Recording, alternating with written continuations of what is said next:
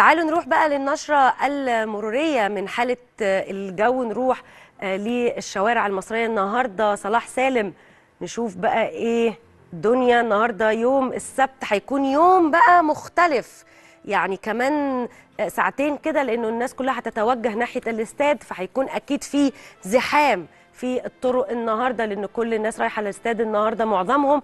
ولكن آه يعني في ساعات الصباح الأولى دلوقتي اللي إحنا بنتكلم فيه دلوقتي الساعة 8 و10 لا كوبري 6 أكتوبر وصلاح سالم. حتى الآن في سيولة مرورية آه على الجانبين. مفيش زحام حتى الآن. آه زي ما حضراتكم كده شايفين متجهين ناحية قصر النيل.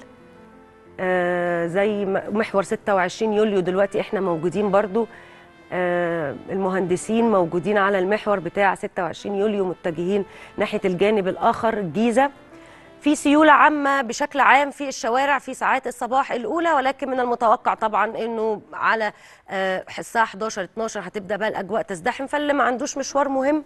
يلتزم طبعا البيت ولكن بقى اللي متجه ناحية الاستاد هو عارف طبعا انه هياخد آه طريق النهارده آه زحمة شوية ولكن طبعا تحية لكل رجال المرور. أكيد في هذا الوقت بيبقى في احتياطات وفي إجراءات آه بتتخذ علشان تسهيل الحالة المرورية.